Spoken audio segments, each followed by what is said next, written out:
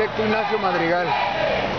Los indios de México de Fernando Benítez. ¿Cuál es la importancia de este libro? Una de las importancias es darnos a conocer las etnias mexicanas que se han venido decreciendo, han venido siendo aplastadas por el, por el sistema político de los criollos, de las mezclas, de, de- de la gente que, que está en el poder. Eh, Este libro tiene un prólogo de Carlos Fuentes. ¿Ya lo leíste este libro?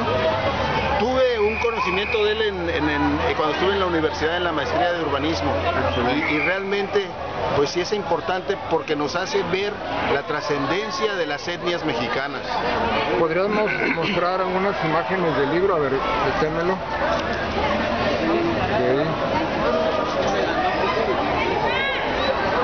Excelente. Qué bárbaro, mano. Yo creo que este libro Tiene un valor histórico, cultural, de algo que, que- que los gobernantes han olvidado y que cada vez destruyen más el hábitat de los mismos, este, de las mismas etnias. Muchas gracias. ¿Algo más que quieras agregar?